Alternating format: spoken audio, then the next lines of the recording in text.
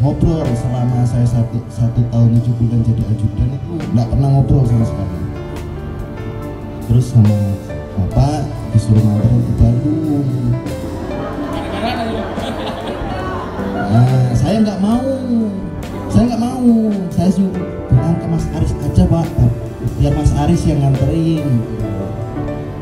Tapi tetap saya yang disuruh. Ini perintah gitu siap. Langsung saya ngobrol sampai Bandung tuh tidak ada ngobrol sama sekali sampai akhirnya Neng pun tertidur di mobil. Dan saya dicuekin sampai saya ngantuk tidur di mobil itu pak. Dan setelah itu setelah beres ambil barang terus pulang lagi ke Subang akhirnya saya berani ngechat. Awalnya sih takut karena kan anaknya Pak Bupati mas. Di situ lama ditanya sama bapak Gun kamu beneran suka sama anak saya? Saya bilang ah masa pak? Gitu kan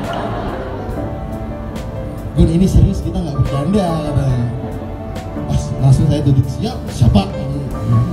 Terus akhirnya ya udah kalau memang kamu suka sama anak saya bawa papa mamamu ke sini. Akhirnya ayah saya ke sini.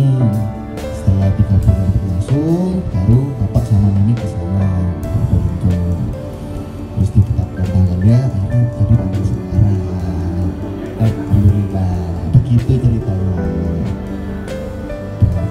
izin mungkin. Ini ya terakhir kali saya yang paling dalam.